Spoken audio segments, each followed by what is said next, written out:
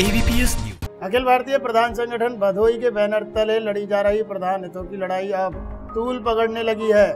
भदोई प्रधानों के उत्पीड़न को लेकर अखिल भारतीय प्रधान संगठन के राष्ट्रीय संरक्षक व भदोई वाराणसी, चंदौली के विधान परिषद सदस्य ब्रजेश सिंह ने प्रेस विज्ञप्ति जारी कर प्रधानों के साथ खड़े होने की बात कही है और आंदोलन को भी अब इस बात से हवा मिल गई है।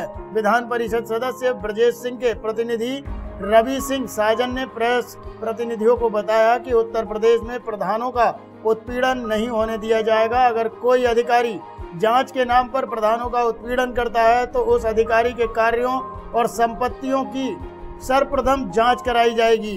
रवि सिंह साजन ने प्रधान संघ के राष्ट्रीय उपाध्यक्ष शिवभूषण उपाध्याय गोपाल से फ़ोन पर वार्ता करके ब्रजेश सिंह पंचायत प्रतिनिधि हैं। और प्रधानों के हर एक अधिकारों की लड़ाई में आगे रहेंगे और दिनांक 21 मई 2018 को जिला कलेक्ट्रेट सरपतहा में होने वाली जिला स्तरीय धर्म, धरना प्रदर्शन में शामिल होने आ रहे हैं। एमएलसी प्रतिनिधि रवि सिंह साजन ने सभी प्रधानों को आश्वस्त करते हुए कहा कि आने वाले समय में प्रधानों की हर मांग को सदन में रखा जाएगा।